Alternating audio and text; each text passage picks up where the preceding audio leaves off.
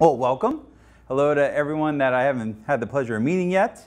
Uh, this is uh, my session taken down a monolith, one package at a time. And uh, those who have never heard of me, my name is Kevin Griffin. I own a company called SwiftKick. We do software consulting uh, in the Microsoft space and web development space. So my primary focus is any Microsoft-based technology, .NET, .NET Core, uh, deploying to Microsoft Azure, um, so I'm also the guy that has written the training material for the Buildmaster and ProGet uh, workshops you'll see tomorrow. Um, so if you don't like them, totally blame me. That's all right. Um, if you ever want to chat with me afterwards, feel free. Um, my email address is up here on the slide, and it'll be on the videos as well. I would love to chat with you, uh, whether it's about this or anything else. Um, but I know I don't have too much time today, but I, I, picked kind of a big topic and there's a lot I want to go into. So we'll, we'll take it the, the best way we can.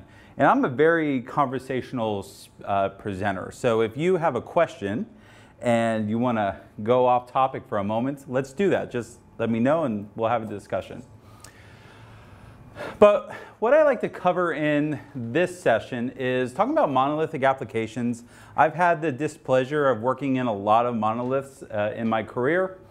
And I want to talk about some of the techniques we've used uh, to decouple monoliths into individual packages and how packaging in general has helped us move um, to something that's a little bit more maintainable. Uh, so we'll talk about what packages are. I, I find that there's a good number of folks out there that don't really understand packaging as a, as a concept.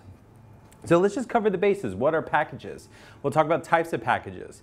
And then we'll lead into a conversation of how does that help you as a developer or as a uh, person who's managing an infrastructure. And then we'll wrap it up with some Q&A and general discussion. So I actually added these slides this morning because I've, I've been spending a lot of time with this talk trying to get the narrative just right. And I want to start by talking about decoupling the monolith. So there's a, a couple things about monoliths. I do not like monolithic applications. Uh, in the 12 years I've been writing software professionally, uh, I have grown to loathe monoliths. And it's mostly because they're constantly growing and they're these very complex beasts. If you've worked in a monolithic application, go back to what Aaron was talking about this morning. Uh, they're, they're a house of cards. We use the exact same analogy. Um, and I was like, well, they're going to feel like I'm copying Aaron. And I am, but I copied Aaron uh, before Aaron got up and presented. So I'm not really copying him. He just had the pleasure of going first. Yeah, yeah, exactly. But the analogy is exactly correct. If you change one thing anywhere, you could possibly topple the entire card, uh, house of cards. So you might have an issue that you don't even realize for uh, days, if not weeks or months, because you, no one touches that part of the code. And that's one of the big problems with monoliths is the majority of applications we built that were monolithic, the features that we break are only used 2% of the time. And when someone actually goes and executes that piece of code, that's when everything fails. So in my consultancy, I prefer smaller testable bits of code. So not necessarily microservices. I don't like that as a buzzword, but I want things that I can uh, easily test and make small changes to. But they're things that have one very defined set of income or input and output. So I know exactly what it's doing, uh, when it's doing it, and how it's doing it. Uh, that way, if I need to make a change, I'm making a change to one little small piece, and I'm not potentially taking down the entire house of cards. So in this uh, discussion, I want to talk about how can we take this house of cards and possibly start extracting things into smaller, testable, less fragile pieces of software. And there's little steps that we can take while keeping the monolith. I'm not telling you to throw the monolith away. I'm telling you we should take steps to make it a little bit more manageable. And that leads us into a discussion of packages and packaging in general.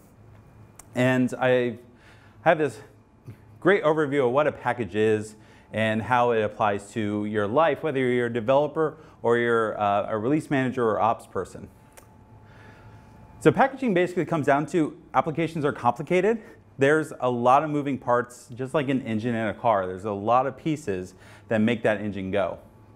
And you see this uh, slides I have here. On the left is a .NET Core application, which .NET Core is smaller, more maintainable, more, um, uh, more better in every way, but dang, there's a lot of files that go along with a deployment of a .NET Core application. Uh, on the right, you have uh, NPM, Node Package Manager, which it doesn't stand for that anymore. They decided to drop the acronym. It's just NPM. But either way, it's a running joke that node modules in NPM is just this wastebasket of stuff and the stuff you need to run your application. But it just makes everything more complex as you have all these different dependencies. The old monoliths I used to work on, um, onboarding new developers was a several day, if not several week task. Uh, I think you talked about this a little bit as well. When you have a new developer comes in, we, we didn't actually have a document. You just met with the lead developer and he'd go, it was almost this exact conversation. All right, now you got to go to this UNC store, pull down this file because you have to reference it in your project because we can't figure out how to add that file to source control and just have it referenced automatically. And we get to step 42 and you go, oh crap, that's right. I forgot step three. You were supposed to go do this other thing that was completely unrelated, and let's go back and do that. And two weeks later, I'm actually committing code to, to source, where I should be able to commit code to source in maybe a matter of hours. I also have projects that uh, everything we built was uh, in-house, It was first party. So anything that connected to databases, any uh, file management work that we did was all built in-house. And that's fine, but people have already have done this sort of work before. And we actually didn't think about this in a modular way. We created what I call the kitchen sink library. Uh, have you ever been on a project with a kitchen sink? Something .utils. I've number of projects I've walked into where uh, I have one I still manage uh, that I took on for maintenance as a .util uh, assembly. They don't have the source code for it anymore it manages all the data access. so if I have an issue with data access, I have to be very confident that it's not a me, that it's not a, it's an issue with my code, not an issue with the uh, library code, because I don't have the source for the library code. That was written 10 years ago, and they lost the source code. Actually, I, uh, I uh, decompiled it. So I have the original source, but I don't have a good process for recompiling it. But thankfully, that code is never broken. I'm knocking on everything that could possibly be wood. Uh, so we have, have this package, and this is the thing you have to go get. It's impossible to version. Um, oh, yeah. Uh, all right, oops. Let me move on. So distribution is usually the big problem. Uh, when I went into my first consulting job. There literally was a UNC path that had all these dev utilities in it. And my third to fifth step to 50th step was go get this package, install it. Go get that package, install it. And when I say package, I really don't mean package. I mean, go get this DLL. Go get these, uh, these pieces of code and copy them manually into your environments. And they magically will do something when everything's working, if everything works. But then versioning was an issue. So because this was all managed in-house, it wasn't in any reliable form of management. We had the lead developer down the hall go, he would send the email, and I'll show a joke in a moment. Hey, I, I just fixed an issue. Go grab the latest version. So the dozen developers in-house would go get that file, and we'd all have to update everything locally. So when you have this kitchen sink version that has everything in it, how do you, how do you uh, version that reliably? And the answer is you really can't. You have issues like this, where it's an email that goes out that says, hey, go grab the latest version. And you know, this is wrong in every sense of the word, but this also causes other issues. Because what if that new developer down the hall who just went through steps 1 through 50 uh, doesn't see this email and he's running an old version of the kitchen sink, and that kitchen sink has a SQL injection bug in it. So he's testing against a bad version of the software. All right. So this leads us into a discussion of what packages are and how they can potentially help us. Uh, a package is just essentially a zip file. That's, that's the easiest way you can think about it. It's a file that contains other files. And depending on what type of package you're using, it might have binaries in it, it might have scripts, it might have um, uh, um, some sort of manifest. So I've used some NuGet packages that just have PowerShell scripts in them, and those PowerShell scripts go off and do things. But it's essentially just a way for me as a library developer or a tool developer to build something that you can then consume. Uh, more importantly, you can consume it or you can remove it successfully. Because installing packages is one half of the equation. Well, what if you want to remove a package or want to upgrade a package? All that stuff is managed by the, the package and the package manager. And I'm going to use two terms uh, interchangeably, package manager and then feeds. Uh, we'll talk about ProGet, which is the whole reason I'm talking about packages today. Uh, they don't call it a package manager, it's their feeds uh, that have all the packages inside of them. But fundamentally, there's three types of packages uh, at, that you could possibly use in your development lifecycle. Uh, developer packages, so who are the developers in the room? Okay, so there, there's a good mix of talents here.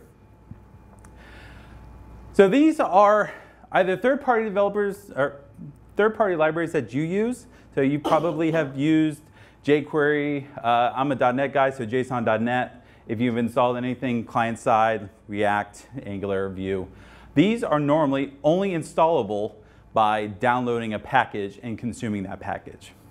In the old days of web development, you would just go download the JavaScript file, drop it in your folder, and boom, you could use it. You can't do that anymore. You download the package, you have to make sure your Webpack is configured correctly, and then three, four hours later, everything might magically work. And these popular packages get deployed through package managers or through feeds. So NPM, NuGet, Ruby has gems. Um, there's a PowerShell gallery. There's um, Python has what? Uh, pip. Um, there, there's a bunch of them out there. So every major language and platform probably has its own package manager associated with it. Second, you have application and component packages. These are things that you might use internally um, and that you're not putting out for public consumption. This is not open source stuff. This is stuff that's used internally that has all the keys to the kingdom. I keep pressing the wrong button. Uh, so you're not going to go to a public NPM uh, package manager to get these packages. You're not going to go to NuGet to get these packages. These are ones you're going to host in inside. Well, because you can't host NPM internally or NuGet internally, how do you host that stuff? Well, you use a tool like ProGet, which is built for managing internal packages or private packages. Uh, and then there's some packages, like we'll talk about here towards the end, where maybe you want to package your entire web application uh, deployable as a package and then and push it out. Well, you're not going to do that as a NuGet package or as an NPM package. Uh, you need something that's a little bit more universal. Well, Inedo has a tool called UPack or Universal Package uh, that fits his model really well. And then third, we won't talk too much about this, but you have machine packages. Uh, these are mostly tools or utilities. So anyone use Chocolatey? No, Chocolatey is a basically machine package. They build on top of NuGet, so it's, it's all NuGet underneath the scenes, but it's just packages that contain scripts. I want to install 7-zip. So let me go install the Chocolatey package for 7-zip. It goes and downloads the proper executable, does the install, everything's great.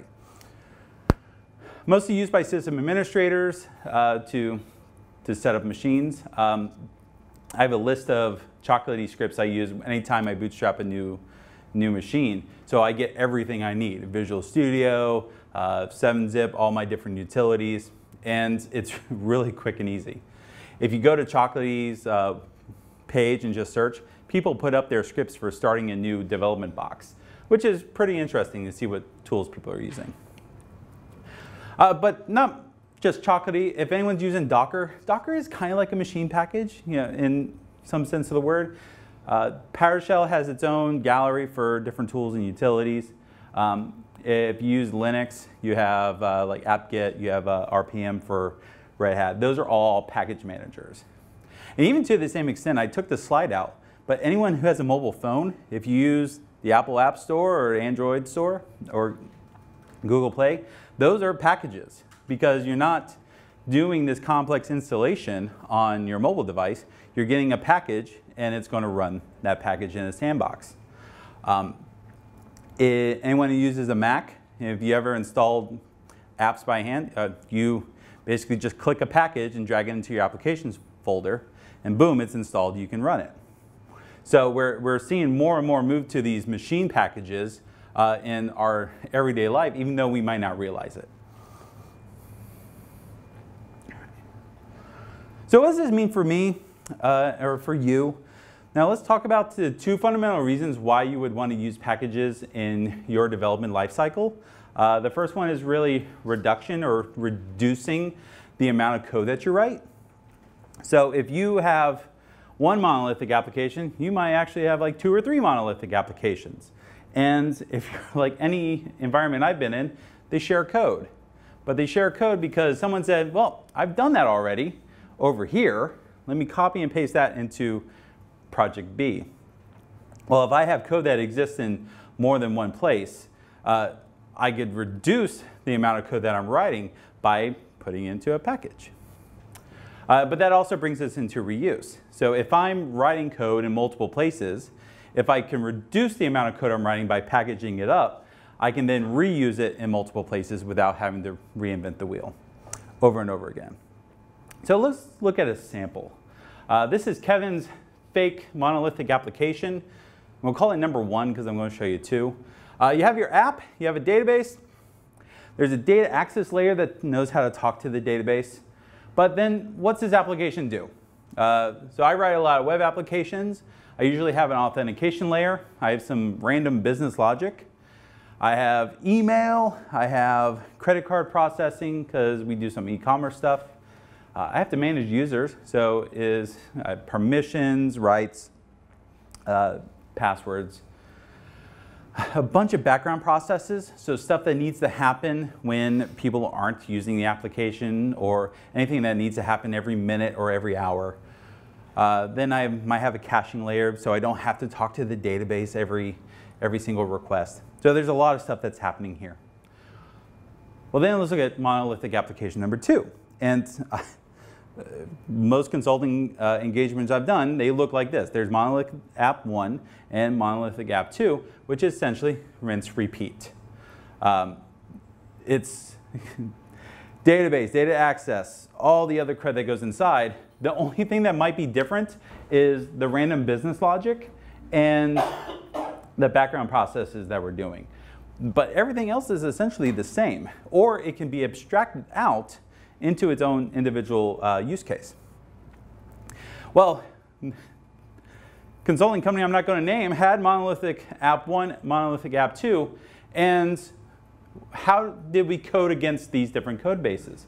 Well, I had the pleasure of working in both the code bases, uh, and so did six other developers uh, on, our, on our hall, and this would happen. I would make an update to one of the sections, and the conversation would go, hey, I fixed the bug, there was a bug with sending email. If we didn't do this correctly, uh, it would fail. And they go, great, let's copy that over to application two. So we go over to application two and physically copy and paste the code over, uh, and boom, we now have fixed that bug in both places it was being used. And then likewise in application two, some, we fix a bug in say caching. Well, we need to move that code over into the other application because we essentially copy and pasted everything between these two apps. And likewise, it's just back and forth. You fix something in one, uh, one side, you have to copy it over to the other application. Uh, and it's back and forth. And that's because, and almost, it's not even exactly like that.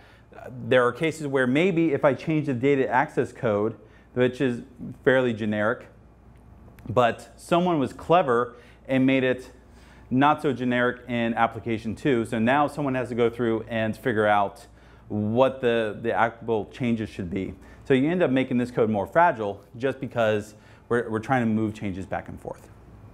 So how could we modularize or package this app to be a little bit more manageable or sane? I'm just going to throw out some ideas. Uh, idea number one is, uh, let's look at email sending. That is fairly generic. An email is just essentially a list of people you're sending to, whether it's the to line, the CC, or the BCC. You have a subject line, and you have a body of the email. And that body could be text or it could be HTML. And it might have attachments. And that's kind of the basis for sending email. Well, what if we made that a package with all the different combinations that we might possibly want for sending email? And we, we, we abstract that out. That's one example.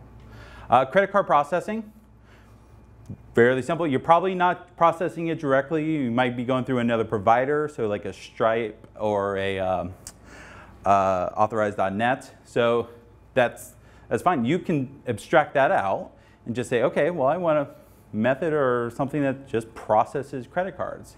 Given a number or a token and an amount and some meta details, let's go process a credit card.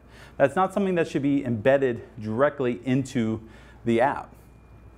Uh, caching, you know, caching is another thing. If we're standardized against ca um, caching in Redis or we're caching in memory, we can abstract that out into a package and reuse it in multiple places that we do caching. All right. I'm even going to suggest that maybe your data access layer could be abstracted out. Uh, we've done this in several cases where we'll have a generic repository model or um, a generic service model that knows how to make calls to a database. And we, we, we don't wrap the, the SQL calls directly, but what we might do is say, well, we make queries the same way, or we call store procedures the same way in all these different applications. Let's abstract that out into its own package and just reuse it in multiple places.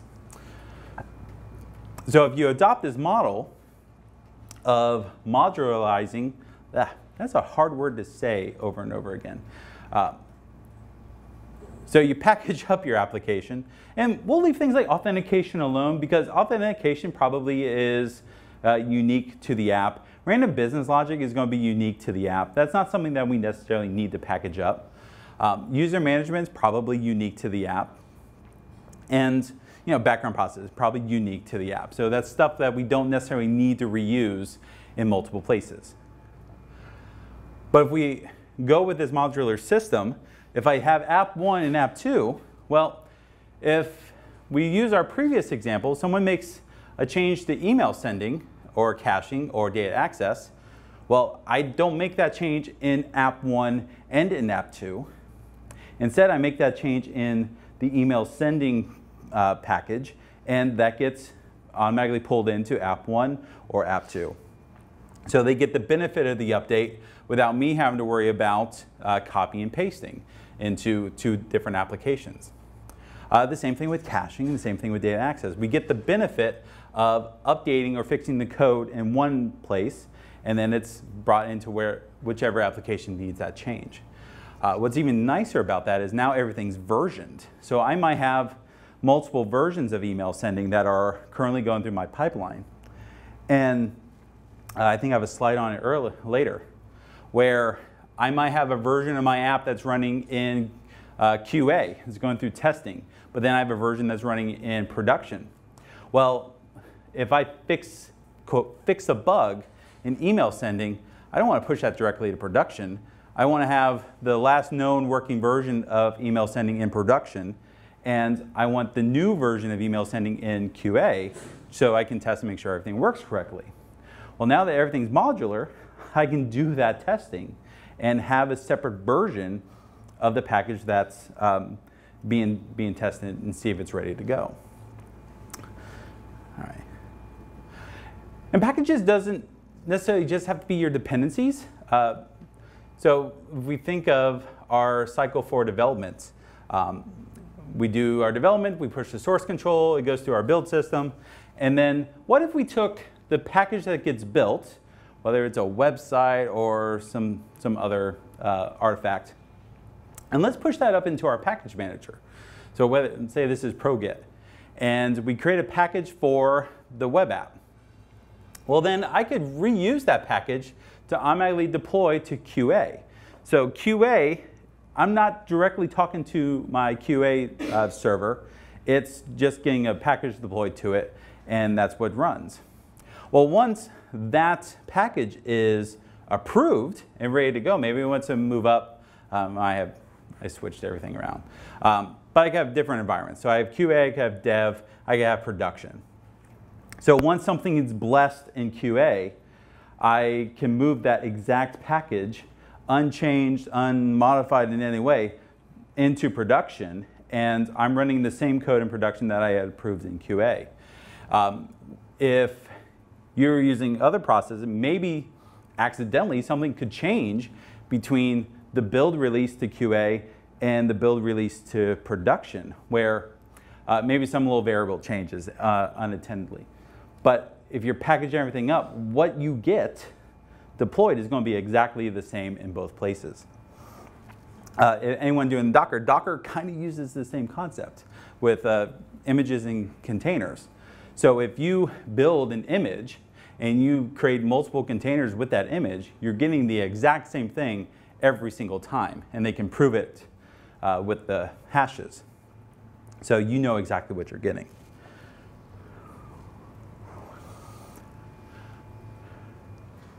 So it's important to keep in mind, not all packages are created equal. I showed a slide a couple, uh, couple slides ago. We talked about NPM, NuGet, um, Ruby gems. If you're doing Python, you have pip. Uh, they're all different. So depending on the type of development you're doing, which package manager do you use? Well, I'm primarily a .NET guy. So if I'm building .NET modules, I'm probably going to build those uh, into NuGet packages. And I'll store them in a NuGet manager. Anything I'm doing in JavaScript, I'll probably build as NPM packages because it's easier to consume it through NPM than it would any other mechanism. Uh, likewise, if I was doing Ruby, I would build a gem. But um, you have to pick the protocol that's best for your environment. You're not going to put JavaScript into a NuGet package because that's not the best place to consume it. Uh, likewise, you're not going to put C Sharp or uh, .NET assemblies into NPM packages. It's not the best way to consume it. You actually end up doing more work to consume the package than you probably should. Uh, but then you have cases where, on my previous slide, you might take your entire uh, deployment, package it up, so it can get deployed to different environments. Well, this doesn't fit any of the molds. You don't put that package into NuGet or NPM or so on. Instead, you might want a more universal package format, which is what uh, UPack is for. Or I didn't put it in here, but it's universal packaging. And it's just, universal packaging is a fancy way of saying it's a zip file that has some metadata. That's really all it is. And, all right, they, so all the packages live in their third-party um, package managers, but your, I don't know about you, but I've been in several places where that's a concern. Like I'm getting my code from this third-party source that I don't control, uh, but my developers are going there freely and pulling stuff down. So they're getting the latest version of Angular, or they're getting the latest version of JSON.NET. And I haven't tested these libraries, uh, there have been several cases where people have hijacked packages. Um, NPM is especially bad about this, where NPM wasn't properly controlling the owner of a package. Someone gave up ownership of a very popular package and injected some malware into it. So every build system in the world that pulled that package, by default, injected themselves with this malware. That's a bit of a security concern. So any person who was managing uh, packages in-house probably would say, I want good control about what packages my developers are using. Uh, you might even have licensing concern. So if you don't uh, want to support uh, MIT license or uh, the Oracle whatever ever license. I can never keep track of the licensing. Um, but you might have restrictions. We can't use this license for this reason. Well, NPM, NuGet, they're not going to stop you. They're just going to say, well, here's the package, go use it. Well, what do you do in these cases? Uh, or more importantly, your internal packages. You don't want to put your internal uh, code out on a public repository, do you? So in these cases, where do you put it? Well, ProGet. You should use ProGet for that stuff. Because ProGet will let you create either public repositories if you want them, or you can create internal uh, security-backed repositories. So maybe uh, only certain people can have access to the, the production uh, level packages. So anything that we will ever push to our to our production environment. Well, those are in a special feed that can only be accessed by certain people or certain processes. We don't give access to that to, to all the developers. Developers only get access to the development branch for, for testing purposes. And then those packages get used, they have to get approved by an administrator, and later they can get blessed into the production feed. All right. Uh, and then things like security. So if you are worried about licensing, you can tell ProGet, never show me a package that has MIT licensing. Um, I just, I can't use it, so don't show it to me. Um, and then you can selectively say, well, don't show me jQuery ever because we don't want to use jQuery. Don't give me React if we're an Angular shop. It's, it's a great way to finely tune what your developers can and can't see. Uh, and then finally for internal packages, you could have a private repository that all your staff can see, but no one externally can see it. So if you care about that sort of thing, you should really take a look at ProGet. So kind of recapping, um, you know, managing dependencies, difficult. If you have to do everything by hand, have to do it manually, uh, it can be a real tax on your human labor. Uh, if you go back to my early slide where there were three developers trying to get uh, someone on-ramped, well, that's, if that's a multi-hour, multi-day process, how much money are you wasting getting that one developer up and running? If they were just using packages, and I could just pull the code out of source, install all the packages, and go. That would make life so much easier. Um, so we can decouple the monolith by going through and saying, here are the bits that we can safely abstract out. And let's turn these into packages so we can test them by themselves, we can maintain them by themselves, and then finally distribute them to the applications that need to use them. Uh, so, but all a package is, it's a zip file or it's some sort of container file that has a manifest that tells you what's inside of the package. All major software platforms, if you're .NET, Ruby, Python, PowerShell, uh, you have a, a feed that you can access. But if you don't want to use the public feeds, you can use ProGet to have everything internal. And the most important part is that we're taking a monolithic application and turning it into more bite-sized chunks that we can better maintain. And we can drastically reduce the, the chance of tumbling down our house of cards. Um, but with that, uh, any questions, discussion? Fantastic. It's a little warm in here. Usually I think it's just me, but I think it's really the temperature. Alexa. All right. Well, if y'all have questions or anything, feel free to contact me.